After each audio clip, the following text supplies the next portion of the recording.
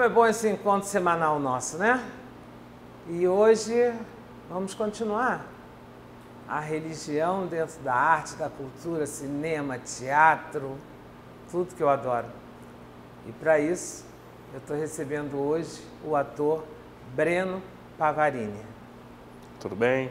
Tudo bom? Obrigado pelo convite, primeiramente. Obrigado a você. Que isso. Bem, eu acho que o Breno vai poder, olha, voar, flanar muito nesse assunto, que ele acaba de sair da novela Reis, não é isso? Exato. Venho da novela Reis, estava agora na quarta e finalizamos na sétima temporada. Estava interpretando o irmão do gigante Golias, que também é um gigante, filisteu. Acabei de vir de uma batalha com o rei Davi. Que, aliás, foi o único irmão que ficou para lutar, não é isso? É, assim como na história fala que Davi pegou cinco pedras, né? Isso. Uma para o gigante Golias e outra para os quatro irmãos, né? Depois de mim agora, nas outras temporadas, virão o restante dos irmãos. Ah, entendido. E adorei, spoiler. É isso. Como é que foi para você? Você já tinha feito alguma coisa na televisão? Porque no teatro eu sei que você já fez. Sim. Mas na televisão, você já tinha feito alguma é, novela com um tema religioso? Não, foi a minha primeira experiência e quando surgiu o convite, eu, eu logo de cara aceitei, porque por trás desse personagem, né, eu achei muito bacana, porque a história dele, ele luta pelas causas próprias, né, por aquilo que ele acredita. Então, achei que dentro desse contexto todo era um personagem emblemático e como ele vivia esse antagonismo com o próprio Golias, né, que o Golias ia só pela luta, por ganância, ele não, ele tinha ambições políticas. Eu achei muito bacana essa pauta e, e aceitei o convite. Aquela roupa é pesada, né? É um pouco. É um figurino. Bastante assim elaborado, né? Mas lógico que dentro ali daquilo que a gente possa estar é, fazendo os movimentos para que nada atrapalhe, né? E lógico que os movimentos que a gente faz ali, às vezes precisa de encenar uma luta, é tudo coreografado e no final tudo dá certo. Aquela cenografia eu acho fantástica, Sim, é bem bonito né? mesmo. Eu acho bem real. Você se sentiu assim lá? É, quando a gente está ali no momento do, da encenação, né, do, trazendo para a realidade né, o que realmente se aconteceu, né, mas ali tudo muito fantasioso, a gente acaba entrando de fato no persona, né? A gente é acaba experimentando e se sentindo como tal. E é bacana porque ali dentro do set você acaba perdendo seu nome, né? E você se torna de fato O, ato- o, é, o gigante, O, o- o personagem. o personagem. Então só te chamavam de gigante, é isso? Exato. Chamo de é muito é muito legal porque E era fácil de achar, né? Cá entre nós. é e de fato um pouquinho grande, né? Mas é que é legal que a, a- o personagem vem antes do ator, né? Ele vem aqui, ó, primeiro, todo mundo vê o personagem. Isso é legal porque você passa de uma certa forma e as pessoas acreditam no seu trabalho. Isso é bacana. Queria te fazer uma pergunta, se sinta à vontade para não responder, Claro. tá? Você tem uma religião? Tenho. Depende do ponto de vista de análise. Hum. Vamos lá. É, você concorda comigo que no início dos tempos não se havia religião, Concordo. né? E que as escrituras foram uma maneira de limitar o homem. Concordo. Concorda. Então, eu sou temente àquele Deus que não tinha religião. Você tinha que temer a Deus. Ponto final. Ah, encontrei alguém parecido. É isso. Eu costumo dizer que eu tenho fé isso. e que sou filha de meu pai. Exato. Amo a Deus acima de tudo. E eu também. E a religião foi criada pelo homem. Exato. Então, o meu amor a Deus é incontestável, Exato. a minha fé é forte, sigo o catolicismo, Sim. mas dentro do meu pensamento. Lógico. O legal desse pensamento é que não nos limita de frequentar uma igreja aqui, Uhum. algum outro centro religioso aqui, conhecer um pouco daquele aprendizado cultural. Eu que eu digo é que tenho 28 religiões dentro do Instituto. É isso. Eu busco ir a todos. Exato. E você aprende muito. Exatamente. Então eu sou muito a favor desse conceito, o conceito primordial, né?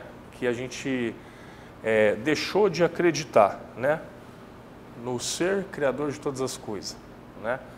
Aquele que que fez tudo. A gente passou a crer na religião e destacar o outro por onde esse outro está indo, né?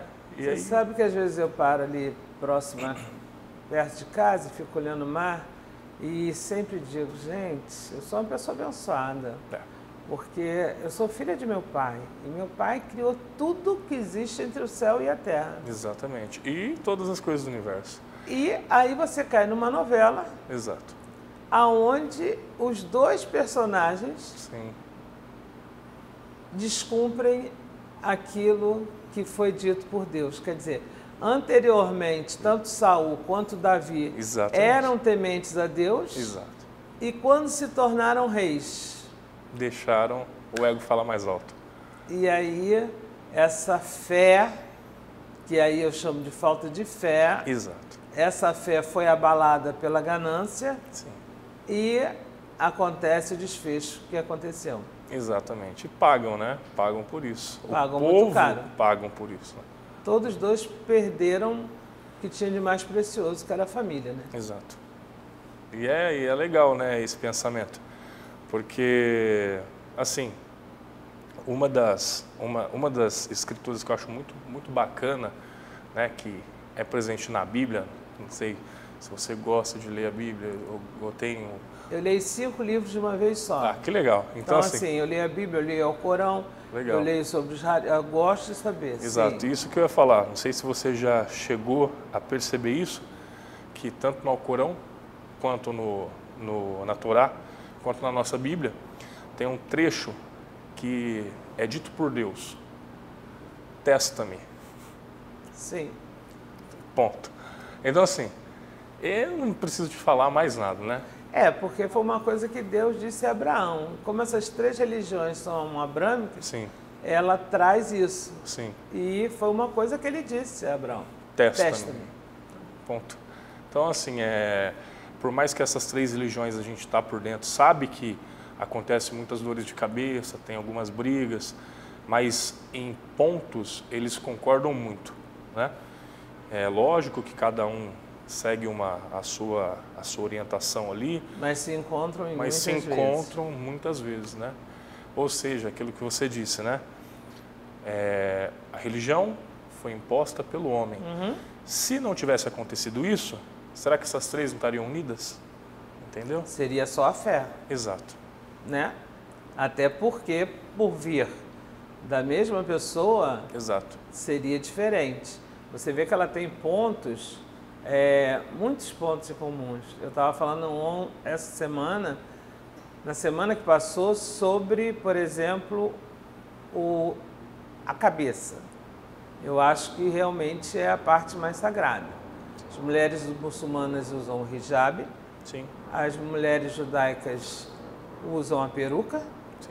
E as mulheres católicas usam o véu. Exato. Então, é, primeira coisa é saber e concordar que para Deus a nossa cabeça é o mais importante. É o mais importante. Até porque ela é que absorve e vai decidir. Exato. Infelizmente as pessoas não decidem só com o coração, né? Sim. Elas fazem isso.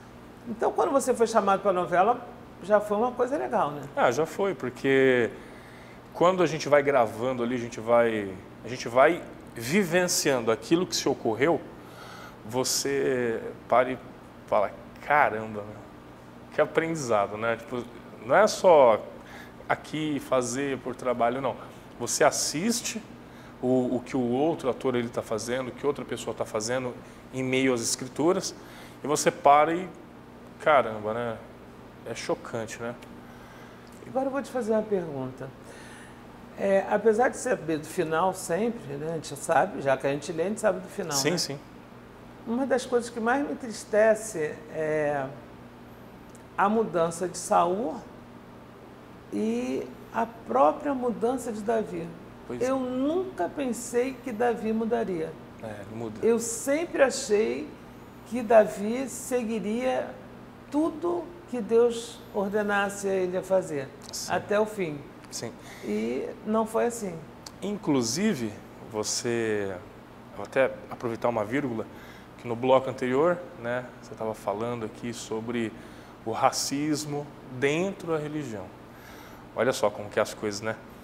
É, isso, de verdade, infelizmente, divide muitas religiões, né, que foi colocadas aí pelo homem, e tem um relato, né, que fala que a Arca da Aliança, ela se perde quando Davi, em fuga para a Etiópia, né, ele vai para lá porque ele está sendo perseguido, e Davi, lá na Etiópia, ele tem concubinas.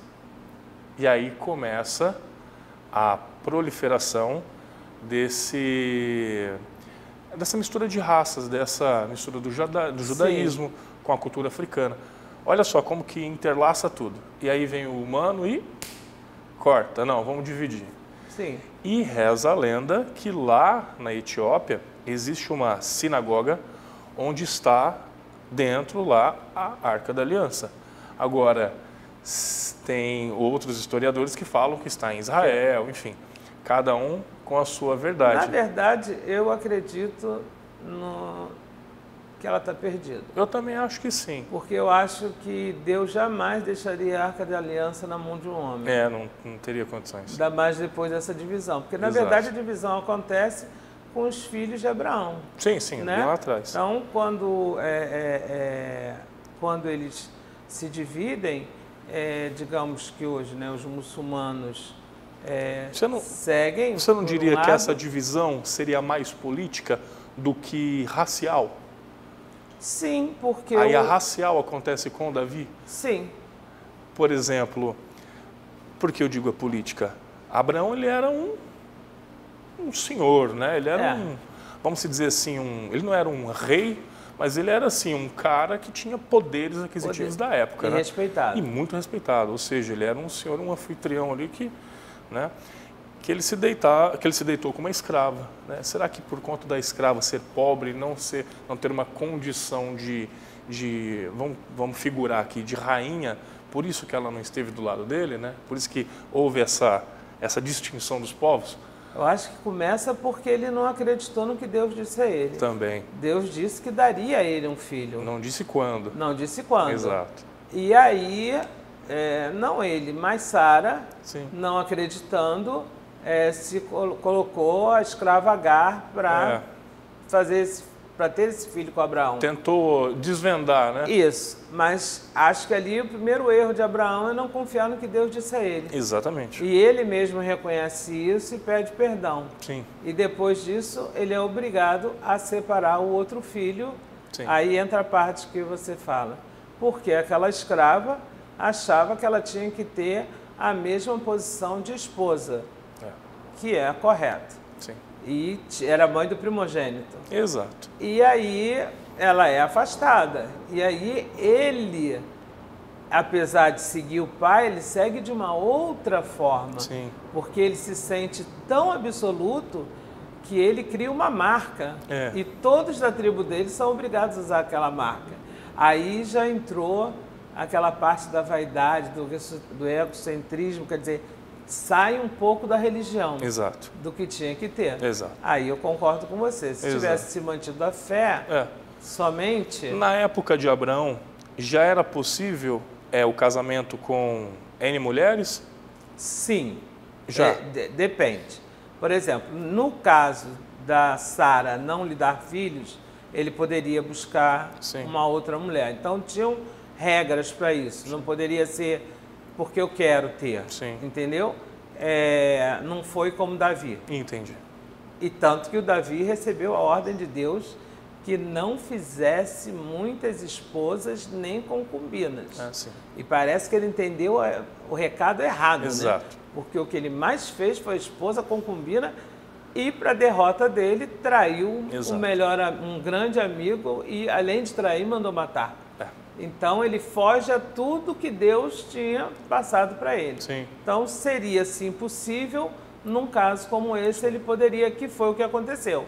Só que ali, o que dizia a lei é que a escrava, ao nascer a criança, ela teria que colocar aquela criança nos pés da mulher dele. Sim. E aí aquela criança passaria a ser dos dois. Entendi. E a escrava deixava de existir. Só que não foi o que ela fez. Não. Ela ficou, ela criou e aí ela entendeu que aquele se tornou um inimigo. Sim. Nossa, que conversa boa, gente. Estendeu. Nem senti. Chegamos no intervalo. Mas não fica nervoso não que a gente já volta.